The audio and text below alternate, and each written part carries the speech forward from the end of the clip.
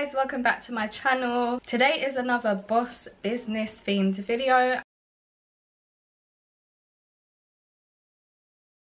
and this is a topic that I get asked about so many times if you look through my past business videos and you look through the comments this is probably one of the most asked questions that I get in my comments and that is how to set up your taxes, how to set up your business, whether you want to be a sole trader or a limited company. So I've kind of combined them all into the topic how to make your business official, legit, whatever word you want to use, but how to make it, you know, real. So I've written down six separate tips and sections to do with this whole topic. So let's just get into the first one. The first thing you want to do to make your company and your business official is to check that your business name that you've had in mind isn't officially taken by anyone else. So there isn't another business.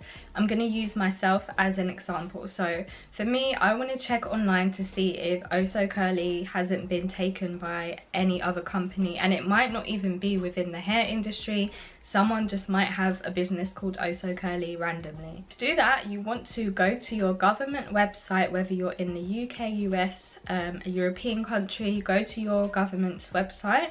For people in the uk we obviously have gov gov.co.uk and you head to the Companies House website and that's going to show you all of the companies that are registered companies. So they can trade officially and they are officially within the Companies House register.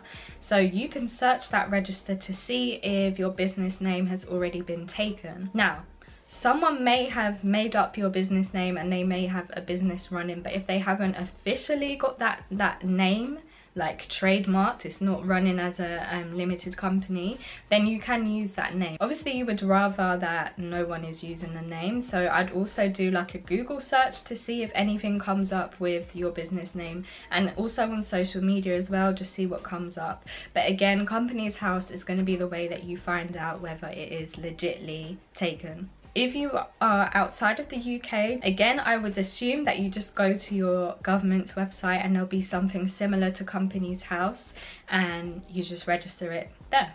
Once you see that your business isn't taken, you can kind of bluff your way through your business life until you are ready to actually become a limited company. So just keep an eye on it that it's not taken. You can actually go ahead and trademark but we'll get into that afterwards. Just make sure that there isn't a company with the Oh So Curly Ltd already operating. So now that you've got that business name, to make your business more official and trustworthy, I definitely obviously would say go ahead and set up your website and your email address. You can have at Gmail and at Yahoo, at Outlook to begin with, but I really do recommend you paying that little bit extra to just have your own domain name and your own domain email address. There are loads of different options for email addresses. You can get them through Gmail, you can get it through your domain provider. An Example of a domain provider is GoDaddy, that's probably the most popular one. I'm sure you've probably heard of it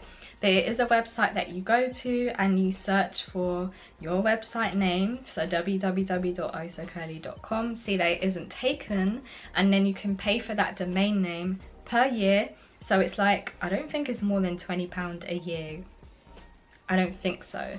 Um, I'll put the script, the, the amount up on the screen. You pay a fee yearly and that is for you to have that website and you own that website name. Again, making it more legit and then once you have your own domain you can again you can either pay for an email address through them for me example i pay through g suite which is google suite so i have my own gmail login email but it comes under as info at ohsocurly.com instead of info ohsocurly at gmail.com if you get what i mean. And then you want to set up your website again i will be uh advocate for Shopify my whole life and I do have an affiliate code down below but that is not the reason why I would recommend Shopify. I've been recommending Shopify ever since I used it. I only just figured out that they have an affiliate program so it works in my favor that I actually do talk about them even more because it can benefit me and you guys because you get a free trial too. So again, I only recommend Shopify for starting up a online store only Shopify. So now that you have all of that set up, you probably just want to secure yourself and this is what I did. What you can actually do is get your business name and your business logo trademarked, which means no one else can use your logo, no one else can steal your logo and start using it, no one else can steal that name and start using it. You can put TM next to your business name, so trademarked. You can also do a thing called bluffing and that is when you just put a TM next to the name and you bluff. So I mean someone will just see it and assume that your business is trademarked so they may not want to use that name but technically they could go onto the government website and trademark that name. So you're bluffing until you're ready to pay the fee to actually get your business trademarked. So I definitely do that just to cover yourself especially if you're already trading you've already been selling stuff um, your customer base is growing, definitely the first thing I would invest in is getting your business name and logo trademarked. So those are pretty much the fundamental ways of covering yourself. There are further ways that you can cover yourself and make yourself even more legit, but let's just go straight into operating your business correctly. Once you have made your first sale and things are starting to, you know, grow and get right up and running you're getting consistent customers and good feedback and the word is spreading i would set up your account side of things. You can either get an accountant. Please bear in mind that i only just got an accountant. I have operated my business for about five years without having an accountant. It's definitely just up to you what you prefer. What i have done for years and what i still do is i just have a spreadsheet of month by month and I have all of my incomings so sales whether I've had investment wholesale orders I put that at the top. And then I have all of my outs which is my expenses. So like the GC the G Suite fee my Shopify fee inventory costs packaging costs loads of different costs. And I put them in every month and I add up what came in and what came out and then what my profit is. So you want to make sure that you're tracking that from the beginning. Like set yourself up and get into that routine because that's really going to help in the long run. So when you do hit those God willing, when you do hit those six figure, seven figures, you are set up, you know what your business looks like, you can predict for the future how it should look like, you can make goals onto what you want your incomings to be and your outcomings to be, and you can just keep an eye on what you can budget on. It's very, very important, don't hide from it. There are loads of videos online and you can even attend webinars, even pay to go to events and classes about bookkeeping and accounting. It's something that you're definitely going to need as a business owner. I am way more of a creative mind. I've not been very much into like numbers and stuff, but I had to train myself to know because I'm in charge of my business. I can't know this stuff. This is this is stuff that you need to teach yourself. There are loads of books out there as well. I recommend Profit First, which I have recommended loads of times in past videos, but I definitely would recommend to read Profit First just to get an idea and overview of how you should be managing your money. You also want to set up a separate business bank account. So uh, a lot of banks actually offer business accounts. So definitely get a separate business account from your personal account because you don't want to start merging those two together. Trust me. It gets complicated and it gets messy and you just don't want to do that. So separate everything. Have a separate business card that you use for all of your expenses and it doesn't merge in with your personal purchases.